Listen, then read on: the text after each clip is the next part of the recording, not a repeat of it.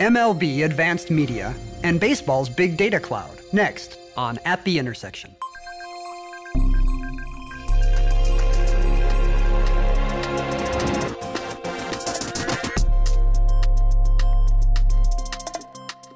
Hi, I'm Ken Jennings, host of At the Intersection, a series where cutting edge IT meets cloud and big data.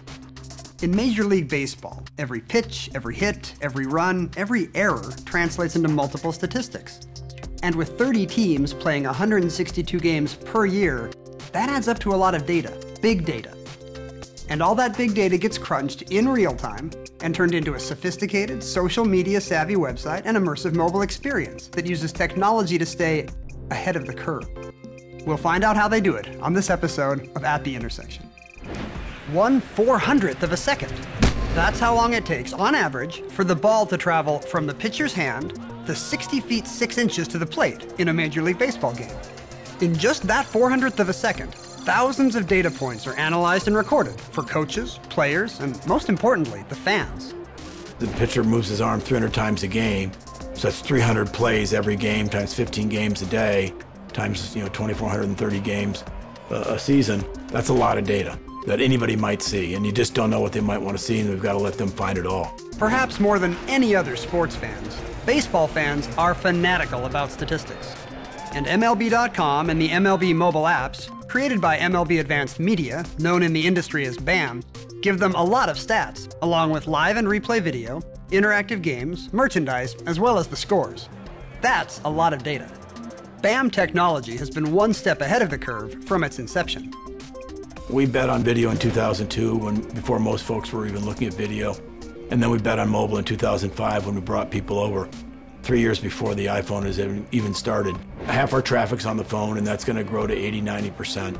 Anybody under the age of 20, it is their primary screen. With over 3 million paid subscribers and 12 million visitors a day, MLB.com and the MLB mobile apps have been a big hit with fans by offering services like live streaming of up to 15 games a day, a feature that delivers HD quality images from a fiber optic network connected to every broadcast truck at every ballpark. Stats and analysis of all those games, a choice of broadcast game feeds for audio, either TV or radio, interactive games like Pre-Play, which lets you guess on the outcome of a pitch in real time versus other fans, and Beat the Streak, MLB.com's most popular fantasy game, where fans compete to break the all time hitting streak and try to win $5.6 million.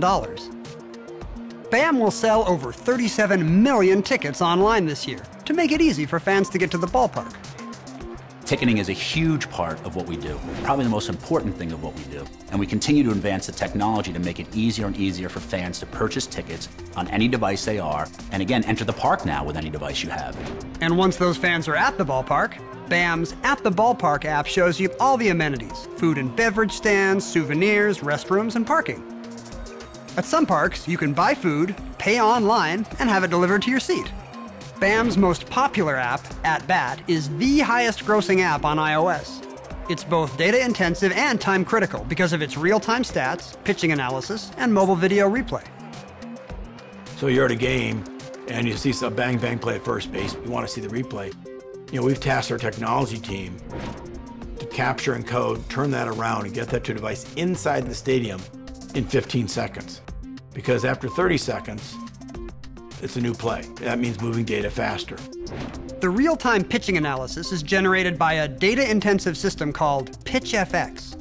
Every pitch in every game is recorded by three cameras, shooting 40 frames of each pitch. Using artificial intelligence, the system determines speed, type of pitch, drop, where it lands in the box, and more with over 90% accuracy. That data is matched to game data generated by a statistician at the stadium, and then again by staff entering data at the BAM office. BAM is now beta testing Field FX, a new service that records and analyzes every defensive move in the field using cameras and radar. It's a complex undertaking that will exponentially increase the amount of big data generated per game. Now, every time the pitcher moves his arm, you've got players moving. Sometimes the ball's hit to him, sometimes it's not. But almost every time the player's moving, just either just before the pitch or as the batter is getting ready to swing. So it is a lot more data that we want to capture, but it'll make it'll be better for the fans. They'll understand what players are doing. That's why going to a game is so much fun. You get to see nine players at once, as opposed to what you see on TV, which is just the pitcher, and to give them some context, I think is going to be important. It's a very big challenge uh, because certain technologies just simply don't scale to that kind of data.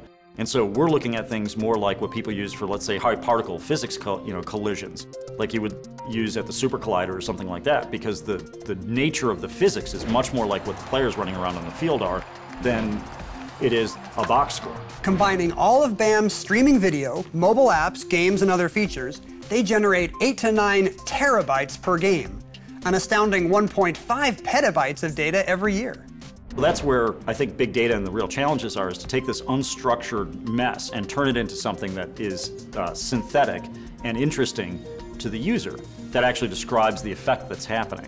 Timeliness, the ability to federate, the ability to weave all of those diverse data sets into a narrative that actually makes sense to the fan, that's where the challenge and the innovation comes in. That's what BAM, in fact, does. Weaves all this complex big data into seamless and transparent online programming dramatically improving the MLB fan experience. In the app world, if you have great content but present it poorly, no one's going to pay attention to you. And se secondly, if you have great technology, you have a beautiful app but nothing worthwhile to look at, no one's going to come either. So you need both. You need to have the technology first and foremost in order to present this on all these devices and all these operating systems. But if we didn't have something as glorious as baseball, we would probably be a much smaller company. We probably wouldn't be here baseball, and big data. Bob Bowman says they're trying to give fans what every manager knows in his gut with data. And you thought Moneyball was cool.